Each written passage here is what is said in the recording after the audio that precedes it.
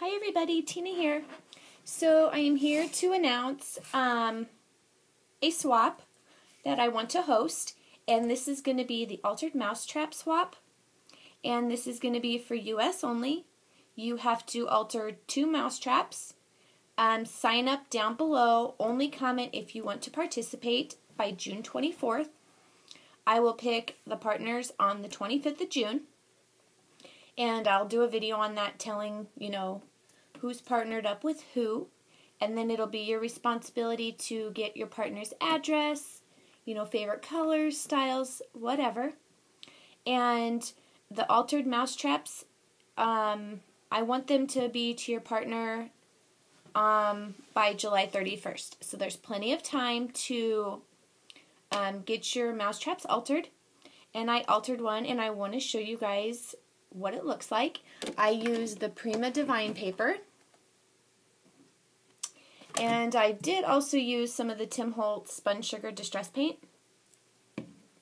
So, basically what I did, here's my mousetrap.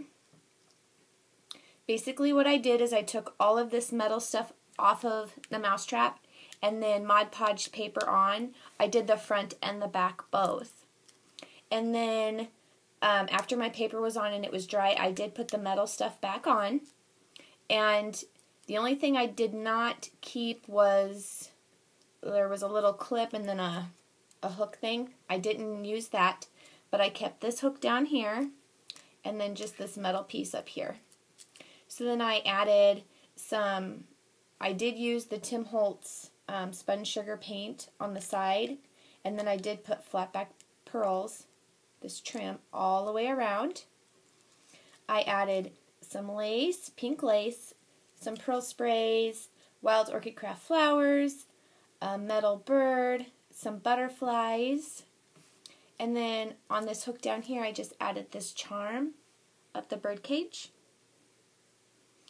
And that's pretty much all I did. And then I did take on all of the metal pieces, I did use my Tim Holtz um, Spun Sugar Distress Paint to kind of tone it down a little bit. But yeah, that's my altered mousetrap. And what I'm going to do is I'm going to take a magnet and put a magnet on the back and hang it on the refrigerator because I thought it would be cool to use it as, you know, like a photo holder for your refrigerator. I thought that'd be really cute, or you could do anything you wanted with it. So, this is my altered mousetrap, and if you want to participate, um, just leave a comment down below and only comment if you want to participate.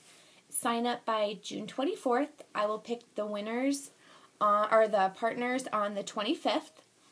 And everything is due to your partner by July 31st. So I hope I get a lot of people to participate because these are a lot of fun to make.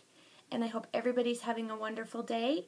And if you have any questions, just PM me and I will get back to you as soon as I can. And thank you all so much for watching. Bye.